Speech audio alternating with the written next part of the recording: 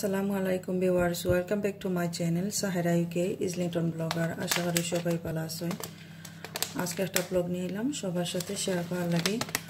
আর আজকের ব্লগে থাকছে কীভাবে দনিয়ার সিট দেখিয়া চার মিনিট করা হয়। দনিয়ার সিট চার মিনিট করা হয় ঘরের ভিতরে ঠান্ডার সময়। তো আমি আজকে দেখাইমু কীভাবে আমি ঘরের ভিতরে করি। আর আমি এই বীজটা নিছি। এই বীজটা আমার কাছে খুবই ভালো লাগে। আর এই বীজটা কি সারা হইলে আমরা যে ধনিয়া পাতা খাই, এগুলো খুবই সুন্দর একটা গ্রান থাকে এগুলোর মাঝে। দেখতে পারা খুবই সুন্দর। একটু ছোটো সাইজের ধনিয়া বীজটা, আর একটু, দেখতে একটু ডার্ক কালার তো এই বীজটা আমার কাছে খুবই ভালো লাগে।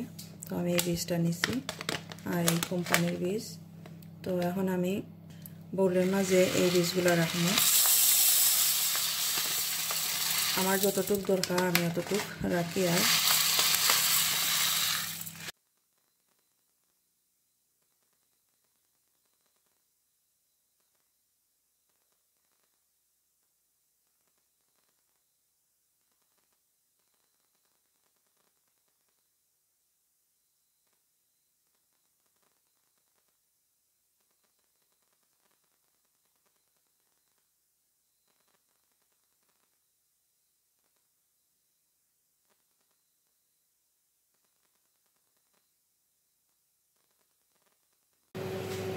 রাত্রে নাইন ও ক্লক আমি এই ধনিয়া সিটগুলা ভিজিয়ে রাখছিলাম।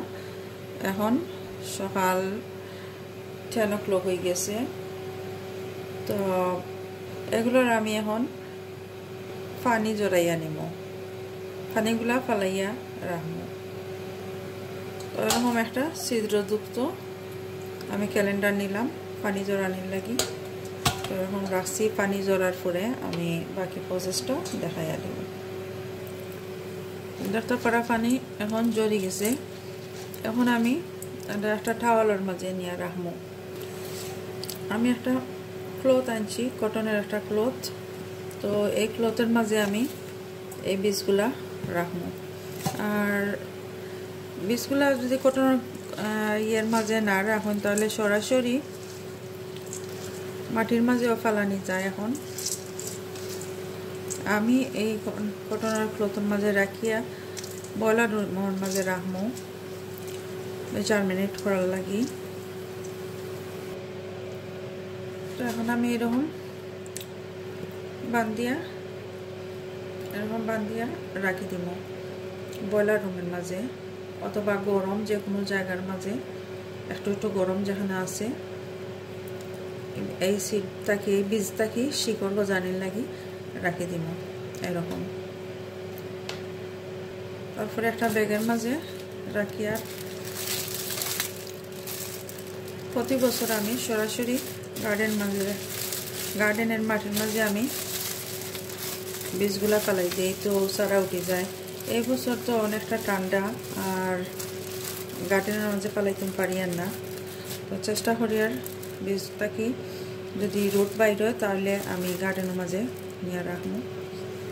মাটির মাঝে পালাইমো তো অপেক্ষা করি আর এই বীজটাকে শিকড় বাড়ানি পর্যন্ত। তো শিকড় বাড়ানোর পরে আমি দেখাইমো কীরকম হয়েছে। আর যদি এই বীজগুলা বালা থাকে তাহলে বালা যদি হয় তাহলে শিকড় বাইরেইব আর যদি বালা না হয় তাহলে শিকড় বাইরিত না। তারপরে আমি দেখাইমো তিনটা কি চার দিন পরে কীরকম হয়েছে। এখন আমি ধনিয়ার সিটগুলা বাইর করিয়া আনছি।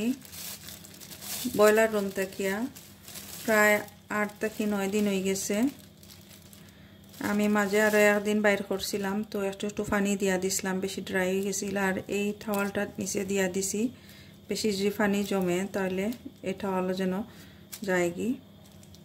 তো মাসাল্লাহ বাঁকা দেখা যায় চার মিনিট হয়েছে রোড বাইর হয়েছে আর আমি আরও আগে দেখছিলাম আরও দুই, তিন দিন আগে আরও কিছু বাইর হয়েছে তো এখন দেখা আরও বেশি বাইর হয়েছে আর এগুলো আমি আর এখন ব্রয়লার রুমও রাখতাম না কারণ অনেক লম্বা লম্বা হয়ে গেছে। এই যে লুটগুলো অনেক লম্বা লম্বা হয়ে গেছে, তো বেশি লম্বা হয়ে গেলে আবার নষ্ট হয়ে যাব ফসি যাইব, অথবা বেশি ড্রাই নষ্ট হয়ে যাব তো আজকে আমি এগুলা গার্ডেনের মাঝে ফালাইমু। আর এখান থেকে তো গাছও উঠি যার, পাতাও বাইর হয়ে যায় তাহলে এখন আমি গার্ডেনও যাই আর। তো গার্ডেনের মাটিগুলো এখন রেডি করিয়া নিব তো আমি গার্ডেনও আইছি, আমি এই জায়গায় মাঝে আমি এখন সিটগুলা ফেলাইয়া নিমু আর সিট ফেলাইবার আগে আমি কিছু কম্পোস্ট দিয়া দিমু এখানের মাঝে। এই যে কম্পোস্ট আমি এগুলা দিয়া দিম এখন। এই কম্পোস্টগুলো আমি এখন দিয়া নিমু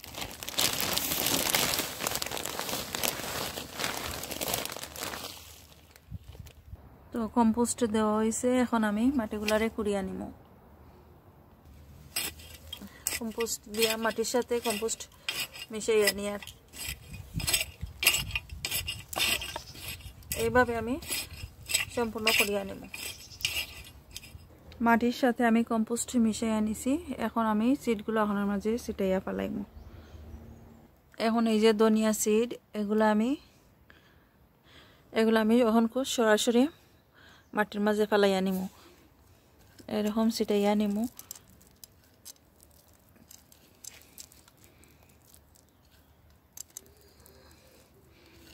সারা গার্ডেন আমি এরকম ছিটাইয়া নিমু।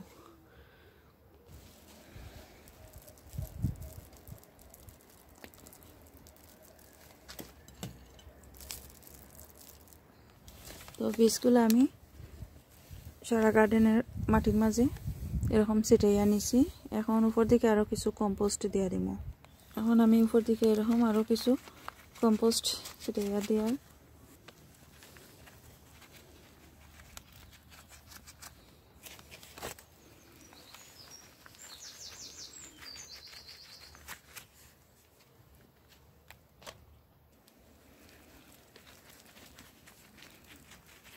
সব দিকে এরকম আরও কম্পোস্ট ছিটাই আনিব তো উপর দিকে বেশ কিছু কম্পোস্ট আমি দিয়া দিছি।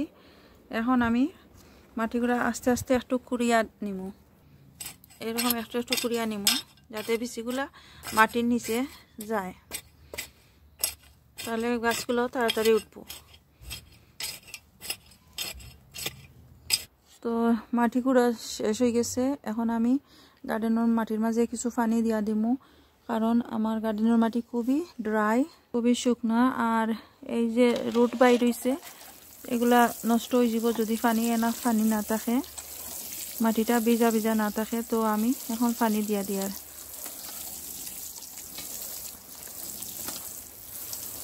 সব দিক দিয়া পানি দিয়া দিব তো পানি দেওয়া শেষ হয়ে গেছে। পুরোটা পানি দিয়া দিছি আমি। তো অপেক্ষা করব আমি গাছ উঠা পর্যন্ত। আর এখন আমি কাবার করিয়া দি কাবার করিয়া দিমু প্লাস্টিক দিয়া। রাত্রে অনেকটা ঠান্ডা পড়ে, তো প্লাস্টিক দিয়ে কাবার করা থাকব দুই, তিন দিন। দুই, তিন দিন পরে প্লাস্টিকটা আমি উঠাই আনিব এই যে আমি উপর দিক থেকে দেখাই আর আমি প্লাস্টিক দিয়া কাবার করিয়া রাখছি।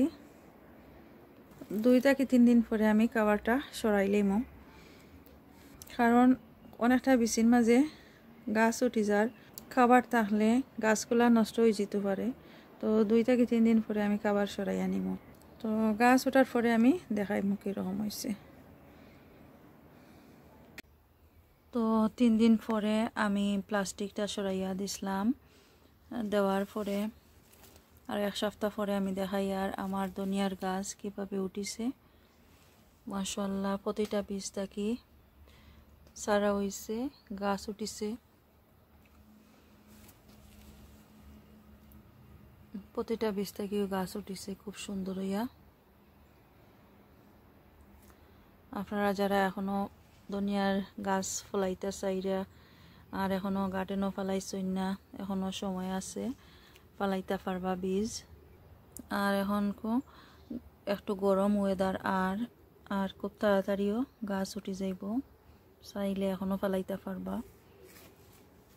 তো গাছ উঠার সপ্তাহখানিক পর আমি দেখাই আর আমার ধনিয়া পাতা কত বড় ওর মাসাল্লাহ আর একটু বড় হয়েছে তো খুব বেশি ঠান্ডা আর খুব বেশি জ্বর বৃষ্টি মে মাসও তো গাছগুলো বড়ই তো পারেন না তেমন একটা।